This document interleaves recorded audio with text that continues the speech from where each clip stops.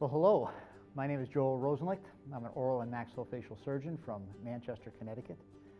I think I've been in the Seattle Study Club for 18 or 19 years now, and uh, I've been the director of the Connecticut Study Club for Excellence in Dentistry since that time. It's a great group, it's a great organization, and very proud and honored to, uh, to be here.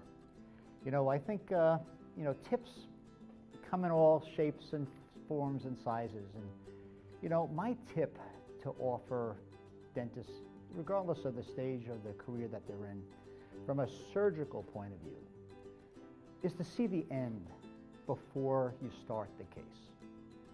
So many times in the courses that we give or when I'm watching people operate, you just go from point A to point B, but they don't realize they have to get to D, E, or F. You have to see F before you start A. So my tip is to step back. In your own mind's eye, see the final result before you start.